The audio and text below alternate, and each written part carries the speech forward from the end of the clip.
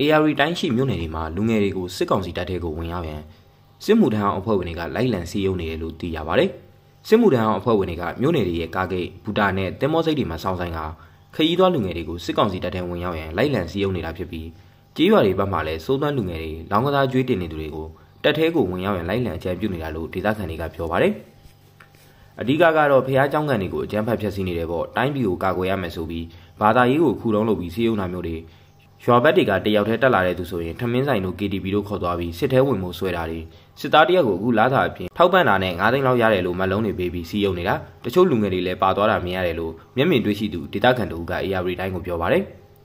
ဇန်နဝါရီလအစပိုင်းမှာ AR တိုင်းစစ်တိုင်းမှုကတိုင်းတွင်းရှိစစ်မှုထမ်းအဖွဲ့တွေနဲ့ခေါ်ယူတွေ့ဆုံကစစ်သားတပ်တွေစီးရုံစုဆောင်ပေးရညွှန်ကြားမှုရှိခဲ့တယ်လို့စစ်ကောင်စီတပ်နဲ့နှီးစပ်သူတွေကဆိုပါတယ်ဒါအပြင်တိုင်းအတွင်းမှာစစ်ကောင်စီအင်အားနှဲပါလာတာကြောင့်ကြေးရွာအုပ်စုအတွင်းပြည်သူစစ်တပ်နဲ့တိုက်ရန်အတွက် အသက်30နဲ့50ကြားအမျိုးသားတွေကိုတရွာကို15ဦးရှာဖွေခိုင်းပြီးအုပ်ချုပ်ရေးမှုတွေကပြည်သူစစ်အဖြစ်စည်ရင်းပြည်သူကစစ်ကောင်စီထံပို့ပေးနေရတယ်လို့သိရပါတယ်။စစ်ကောင်စီကတော်လိုင်းအင်အားစုတွေနဲ့ဖြစ်ပေါ်နေတဲ့တိုက်ပွဲတွေအတွင်းမှာပြုံးတီးလာတဲ့အင်အားကိုပြန်လည်ဖြစ်တင်းနိုင်ရန်ထောင်ကျနေတဲ့တပ်ပြေးတွေနဲ့စစ်မှုထမ်းဟောင်းတွေကိုပြန်လည်ခေါ်ယူသုံးပြုနေရတဲ့အပြင်လူငယ်တွေကိုလည်းစီးယုံခြင်းနဲ့အတင်းအဓမ္မစစ်တပ်ကိုထည့်သွင်းခြင်းနဲ့ဆက်တိုက်ပြုလုပ်လာတယ်လို့သိရပါတယ်။